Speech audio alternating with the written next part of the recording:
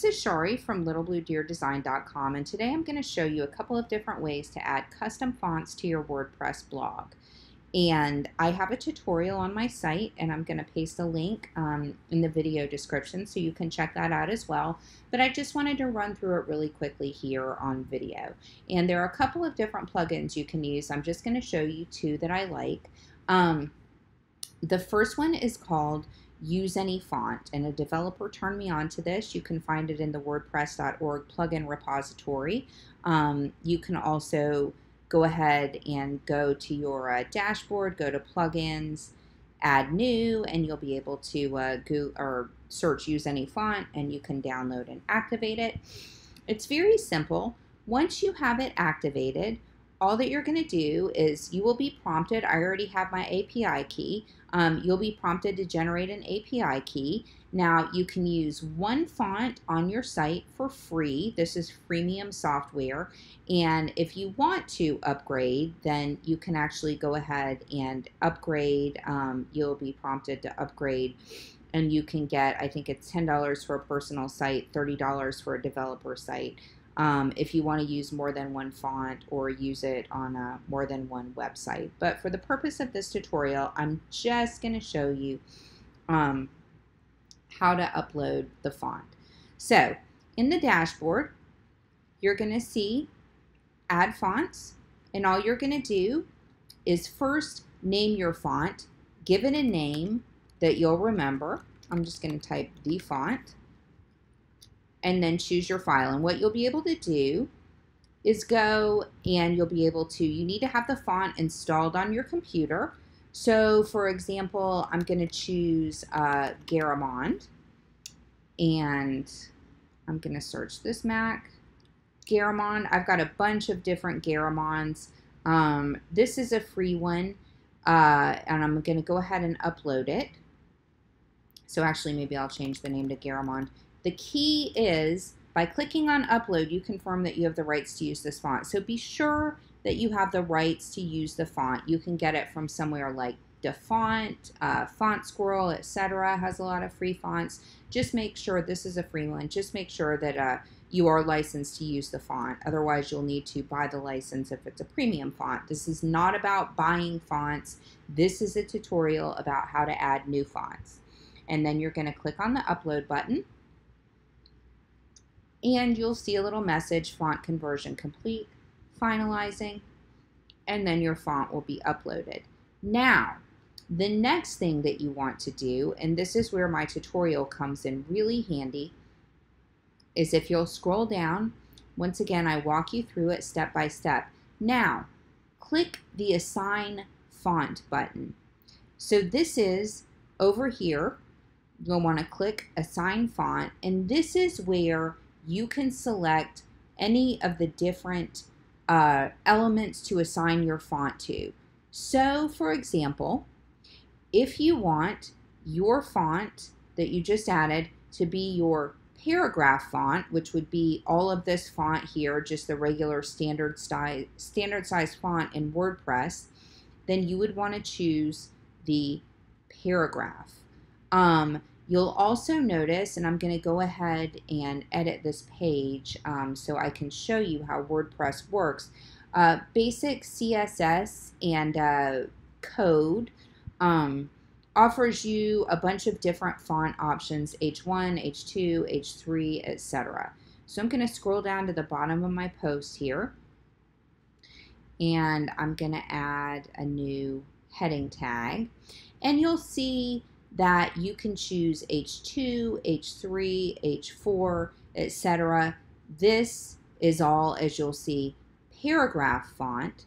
So just keep in mind that these are your different options. So if you wanted to put the Garamond font and use it for all of your paragraph font, you would click Select Font, select the Garamond font, click on paragraphs and then I'm not going to do this because my fonts are already assigned and my site's already all set up but you just click assign font. And then you'll see that when you go back to publish your page or your post then all of your fonts are actually going to be, um, this would be the paragraph font in the Garamond font. And once again, if you have the, uh, if you have purchased a professional license for this plugin, then you can use as many fonts as you want. Um, I wouldn't recommend maybe more than three or four. Those are the basics of use any font. Now, another way that you can add custom fonts to your blog is through one of my other favorite plugins, which is called Easy Google Fonts. It's by Titanium Themes, once again available through the WordPress.org repository. And that is a little bit different, but I'm going to also show you um, how to do that. So once again, you'll go to plugins, add new, you're going to search easy Google Fonts, activate and install it. And then this is just a little bit different. Um, you are going to go to appearance, customize in your dashboard. And if you go to appearance, customize, then you're going to click, and I've noticed with different themes, this appears in different places, but you're going to look for the typography um, or type section. And you're going to click to expand that.